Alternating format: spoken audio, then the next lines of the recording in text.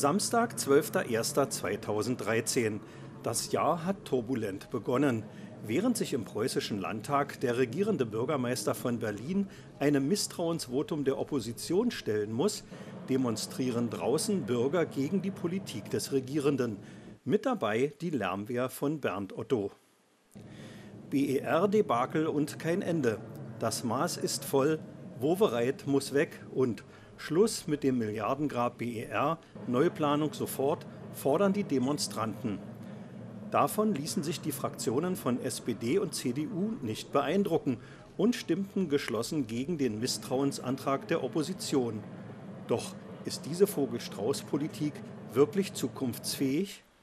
Montag, 14. Januar 2013. In Potsdam findet die Farce ihren Fortgang. Hier stellt Ministerpräsident Platzek die Vertrauensfrage. Auch im brandenburgischen Landtag sind die Verhältnisse klar, wenn auch mit umgekehrtem Vorzeichen. SPD und Linke stellen die Mehrheit und werden den Ministerpräsidenten im Amt bestätigen.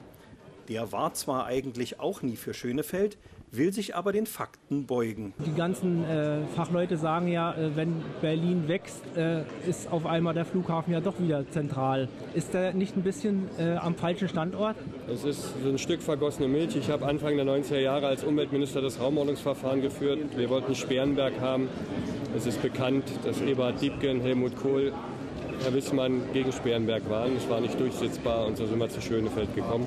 Und da müssen wir heute das Beste draus machen. Hier steht er wohl auf verlorenem Posten, denn durch die neuerliche Verschiebung der BER-Eröffnung entsteht auch die Frage nach dem Standort neu. Während drinnen die Diskussion läuft, fordern draußen in der Kälte die Bürger ein Ende des Milliardengrabs BER.